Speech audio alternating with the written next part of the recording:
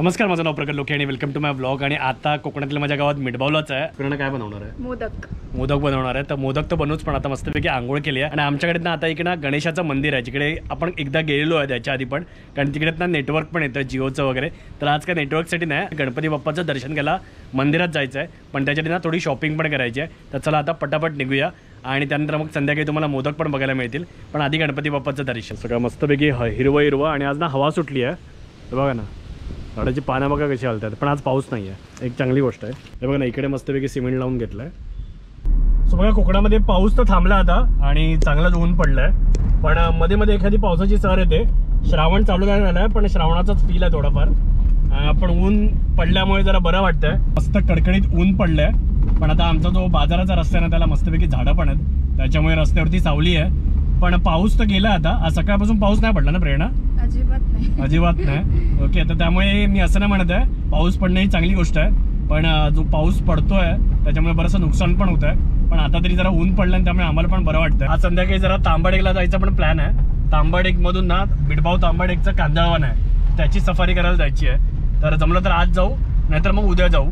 Okay तर ते होडीवरती depend असणार आहे. आणि त्याच्यामध्ये तुम्हाला नंबर पण देईन त्या होडीवाल्याचा. त्याच्यामुळे जर तुम्ही मिठभाऊ तांबाडेकला आलात तर तुम्ही पण कांद्यावनाची सफारी करू शकता. पण आता तरी तुम्ही माझ्या उजव्या हाताला बघू शकता मस्तपैकी भात शेती आहे. सगळीकडे ग्रीन ग्रीन ग्रीन. छानच वाटतं एकदम.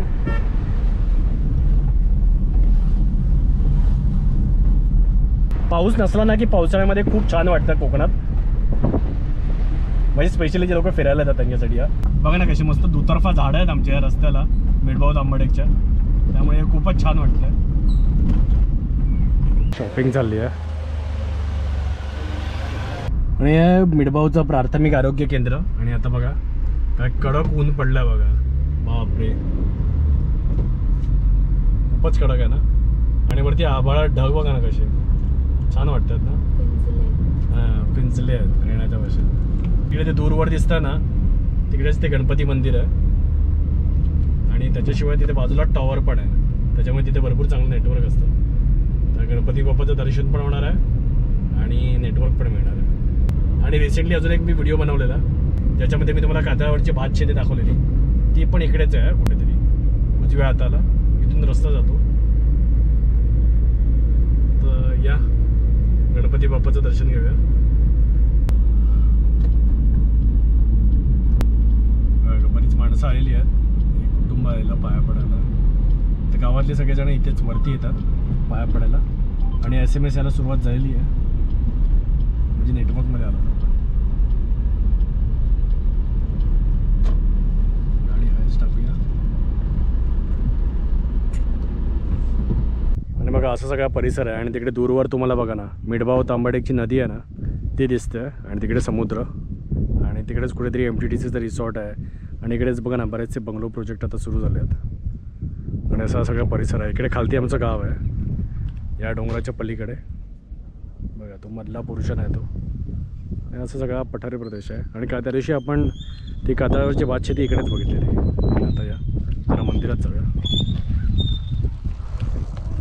सो बघा असा गणपती मंदिराचा परिसर आहे. ते एक झाड आहे. आणि इकडे गणपती बाप्पाची मूर्ती आहे. दगडातलीच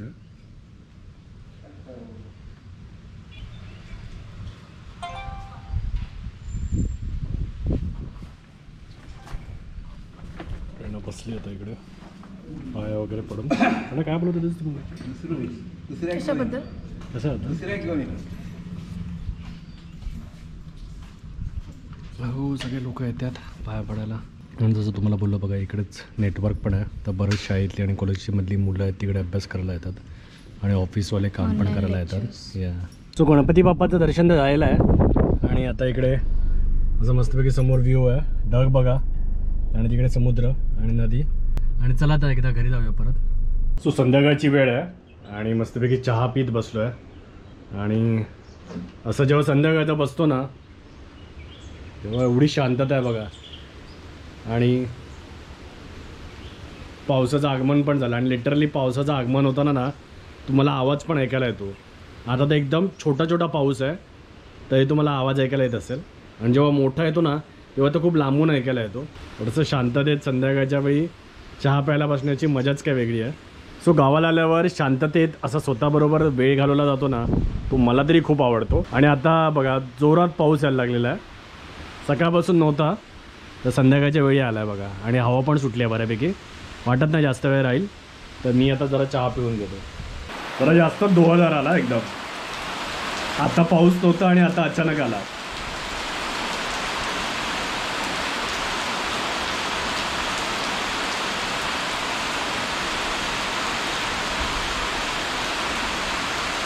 तर आता संध्याकाळ झाली आहे आणि ऑफकोर्स आज अंगारकी चतुर्थी आहे. तर आज मोदक बनवते आहे बायको. तर बघूया काय काय तयारी केली आहे. ते तो प्रेरणा सध्या खोबरं खरचते नारळ मिळाले आहेत मस्तपैकी. मोठा नारळ मिळाला आम्हाला आज बाजारामध्ये शॉपिंग करता करता. तर नारळ खर्चून घेते आहे. आणि प्रेरणा तुला जेवण बनवता येतं म्हणजे ना? सगळं. हां. काय काय लोक कमेंट करत होते की प्रेरणाला काही जेवण वगैरे बनवता येतं की नाही? आणि इकडे बाकीची तयारी आहे. आपला गुळ बघा मस्तपैकी किसून घेतलेला. आणि खलबत्त्यात वेलची कुटून घेतली आहे. तर आता लवकरच मोदक बनवायला सुरुवात करूया. आणि इकडे मोदकासाठी बघा पीठ भागावलं आहे मस्तपैकी. सगळी तयारी एकदम जय्यत चालू आहे. सो होपसो लवकरच मोदक मिळतील. प्रेरणाचा आता गुळ खोबरं आता भाजून झालेला आहे. मस्त कलर आला आणि आता प्रेरणाची वेलची पण टाकून राहिली आहे. वा काय सुगंध येतोय. खतरनाक. मला तर आत्ताच खावंसं वाटतंय. मला तर असं गुळ खोबरं पण आवडतं. पण आज जरा मोदक आहेत अंगारकी चतुर्थीचे. तर जरा वाट बघूया कारण देवाला पण नैवेद्य दाखवावं लागेल. सो बघा अंगारकी चतुर्थीचे मोदक आमचे रेडी झालेले आहेत. आणि आता गणपती बाप्पाचा दिवा पेटूया आणि उदबत्ती लावूया. आणि मग जरा प्रार्थना करूया.